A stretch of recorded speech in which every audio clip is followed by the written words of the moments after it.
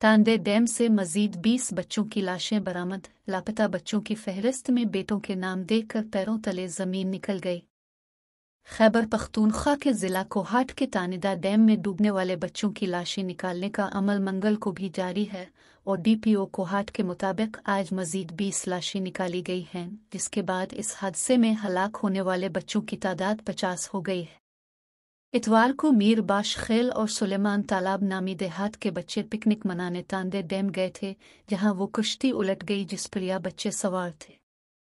इस हादसे में सिर्फ़ सात बच्चों को बचाया जा सका, जबकि डूबने वाले बच्चों की लाशें निकालने का अमल तीन दिन से जारी है। कोहाट के करीब मीरबाश खेल गाँव के करीब वाक़ तांदे डैम मकामी लोगों के लिए एक अहम पिकनिक पॉइंट है। इस इलाके में बेशतर अफराद अच्छे तैराक हैं। और समाजी कारकुन शाह महमूद भी उनमें शामिल हैं। जब उन्हें तांदे डैम में मदरसे के तलबा की कुश्ती उलटने की इत्तला मिली तो वो भी मौके पर पहुँचे और पानी से बच्चों को निकालने की कोशिशों में शामिल हो गए। वो छह सात बच्चों को पानी से निकाल चुके थे, जब उन्हें मालूम हुआ कि डूबने वालों में उनके अपने बच्चे भी शामिल हैं। उलटने वाली कुश्ती में शाह महमूद के दो बेटे, चार भतीजे, दो कजिन और एक रिश्तेदार सवार थे, लेकिन उन्हें इसका इल्म नहीं था। वो तो इंसानी हमदर्दी के तहत बच्चों को डैम के गहरे पानी से निकालने की कोशिश कर रहे थे।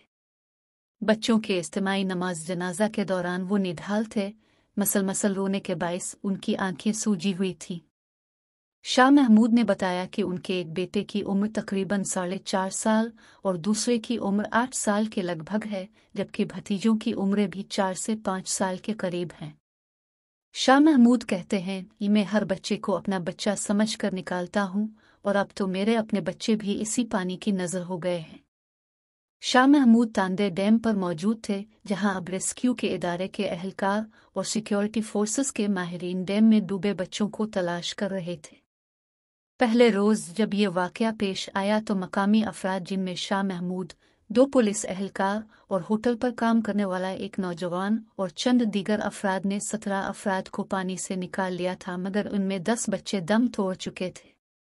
शाह महमूद ने बताया कि उन्होंने जिन बच्चों को निकाला, उन्हें फौरी तौर पर तिब्बी इमदाद फराहम की। कुछ ऐसे बच्चे भी थे जिनकी सांस बमुश्किल चल रही थी।